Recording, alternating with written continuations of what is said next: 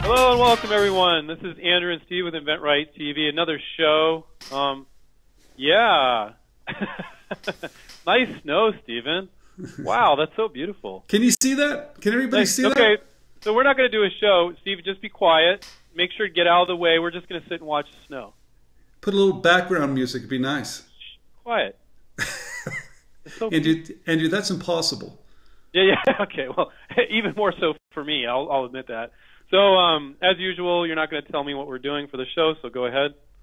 Well, Not usual. You don't always do that to me, but you do it a lot. no, but I I like to do it to you. So, uh, a couple things. Um, first of all, I want to thank everybody that's watching our YouTube video, making comments. If we can help you, let us know.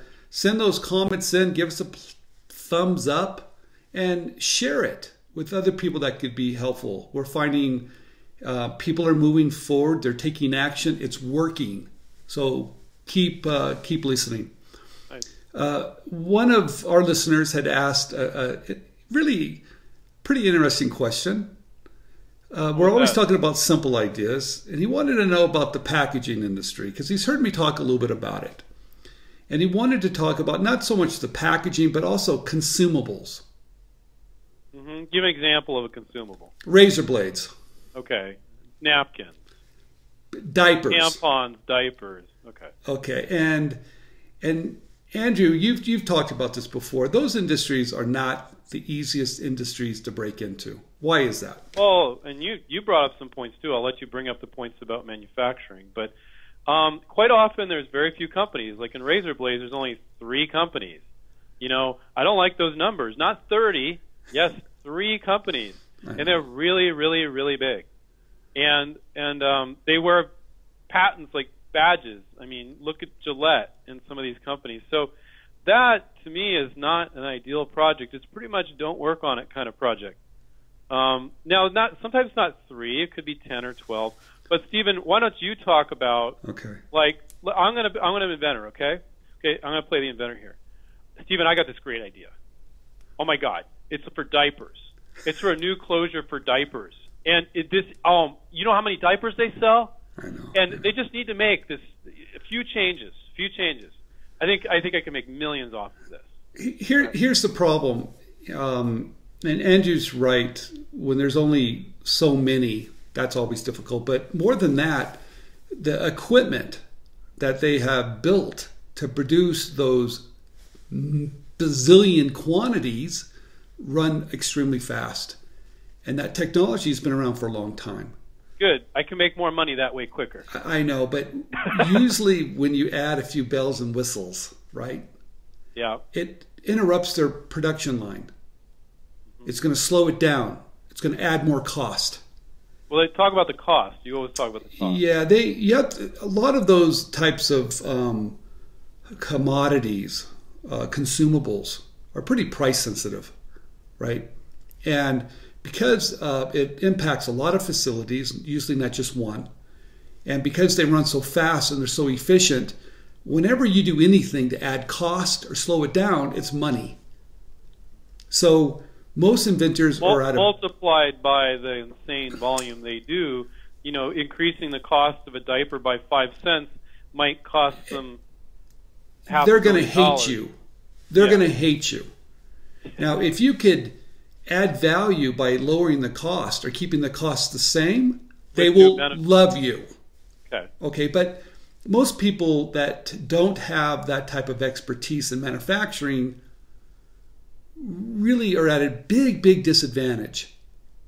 Which Because- is not true for most projects our students work on. Is this true for these high volume disposables that sell bazillions of units? Yeah, that's why I, I like this question because basically it doesn't apply to 95 It was, of it was your own question.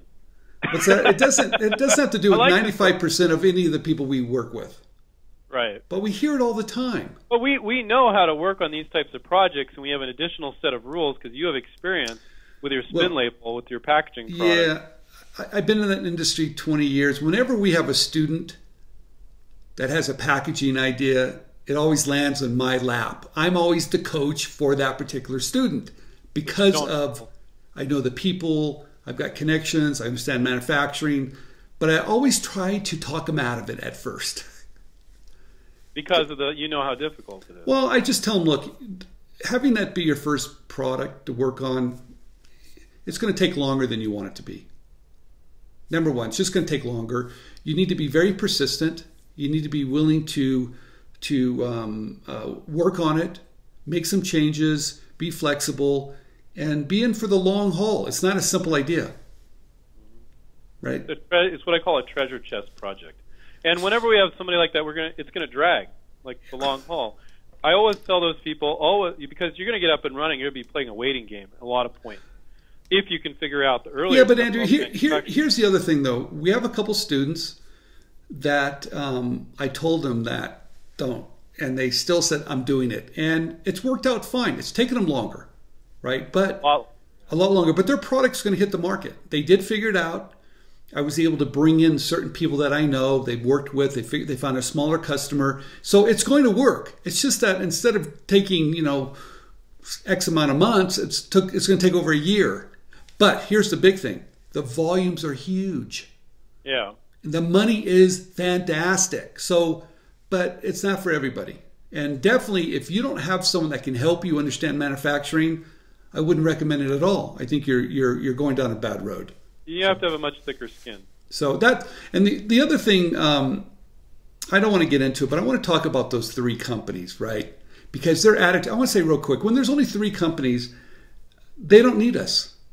They keep us out.